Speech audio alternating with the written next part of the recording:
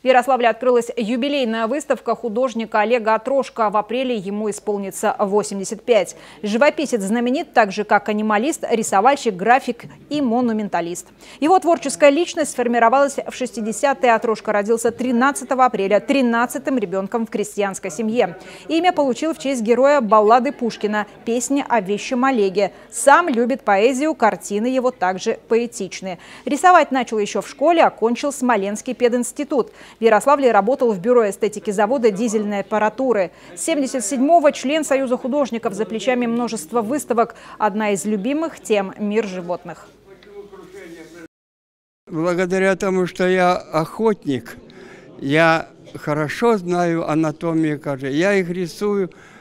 Я все время, у меня был доступ в московский зоопарк. Вот, я рисовал там зверей, рисовал нашим и на охоте, и на рыбалке. Вот. И поэтому сделаны тысячи тысячи зарисовок. И хотелось сделать, донести эту красоту